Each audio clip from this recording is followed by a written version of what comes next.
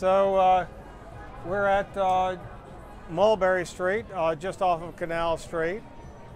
And uh, so I probably came here in 1968. Uh, one time, uh, the way that it happened was that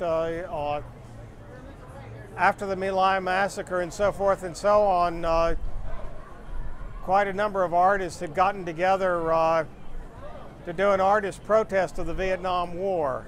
I think this was 1968. And uh, so they had a meeting somewhere on Broadway. Uh, uh, there, what, what they had mainly done was to uh, make a poster, which they were, uh, uh, they had finished the poster, they were discussing it at the meeting. But the painter Joan Snyder was there, and she, I think that she announced that there was going to be a meeting of women artists uh, who were concerned about uh, women's uh, careers in art and sort of uh, the, the opportunities, opportunities for women artists in the art world and so forth. And uh, I think that she just uh, said, you know, on the way out, something like, you know, men can come also or something. So I found out where it was I was here. I, uh, she had turned out to have an artist loft here. Uh, another one of these uh, lofts uh, with the studio uh, from a uh, converted factory. And however, I must say that the facade was completely different as it has been in a number of cases. there certainly was not the door the glass door here and, and the entrance and so forth and so on, it was just a complete, a single, completely faceless metal industrial door. And uh, at any rate, so I attended uh, uh, this uh, meeting, and I suppose that uh, uh, this the, the women who gathered may not have had a name at that point, but they became WAR, Women Artists in Revolution. I think I think that's what they became. Uh,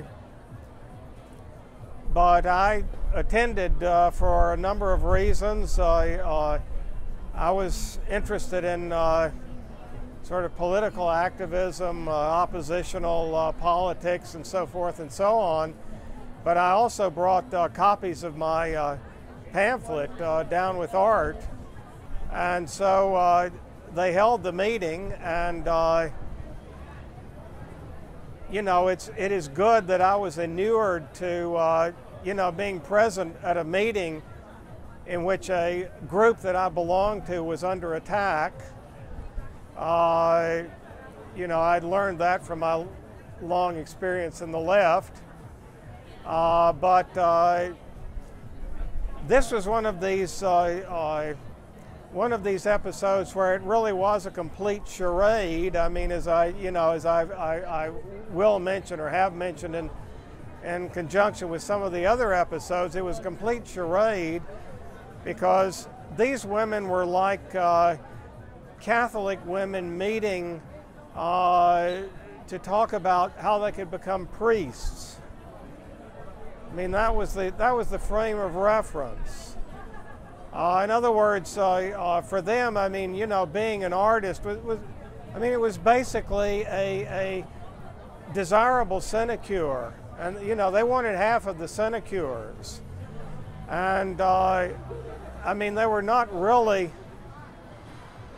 certain about what they wanted to do. I mean, they were they were almost asking the question. This was interesting to me, but they were asking the question, you know, sort of how do you you know, how do you turn yourself into a genius? You know, like if, if that's what you need to do to get the job. And uh, that's the way they were talking. I mean, like, you know, like one of them said, you know, well, Jackson Pollock, you know, I mean, he just he just ran around and you know ran around and so forth, and maybe that's uh, maybe that was his secret, you know. I mean, it was it was that kind of discussion, and and they, I mean, they explored uh, uh, the possibility that it was rigged,